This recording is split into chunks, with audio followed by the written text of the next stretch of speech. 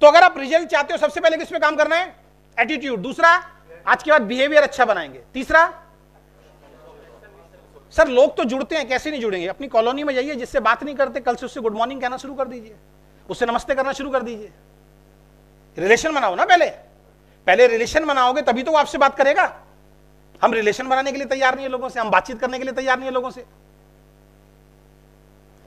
तो जब आपका एटीट्यूड अच्छा होगा, जब आपका बिहेवियर अच्छा होगा, जब आप एक्शन विद सॉल्यूशन करेंगे तो आपकी परफॉर्मेंस बेहतर होगी। आप देख लीजिए, जिसकी भी परफॉर्मेंस बेहतर है ना, उसका एटीट्यूड ओके लाइफ केयर को देखने का नज़रिया उसका पॉजिटिव होगा। उसका बिहेवियर बहुत अच्छा होगा। इसी टिवोली गार्डन के अंदर सोनम जी का चेक जब 12 लाख रुपए था, मेरे साथ एक लेडी ज्वाइन हुई हुई थी और नीचे वाले फ्लोर में रात का डिनर चल रहा था और वो सोनम जी को ऐसी ऐसी बातें बोल रही थी और हम चुप करा रहे थे, लेकिन वो चुप नहीं हो रही थी। मिथिलेश जी, ध्यान है? हम सब चुप करा रहे थे, लेकिन वो चुप नहीं हो रही थी।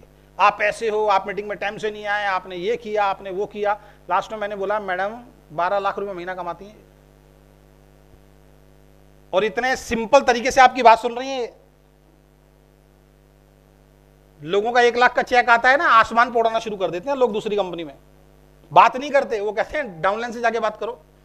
और 12 लाख के चेक में सोनम जी कह रही, कोई बात नहीं दीदी, आगे से ध्यान रखूँगी दीदी, आप टेंशन मत लो दीदी, कोई दिक्कत नहीं है। सोनम का क्या बढ़िया था?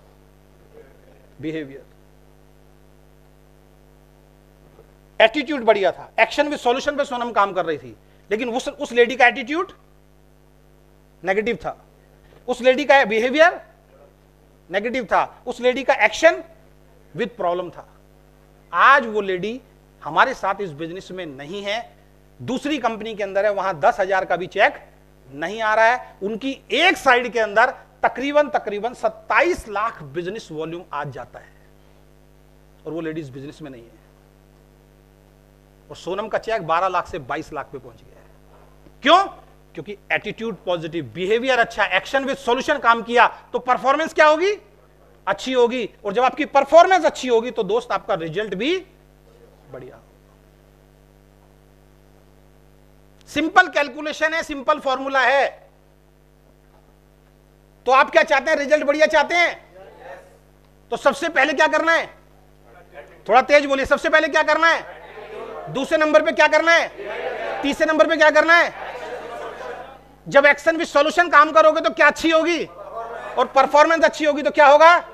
और रिज़ल्ट अच्छा आएगा तो आपकी लाइफ भी अच्छी होगी।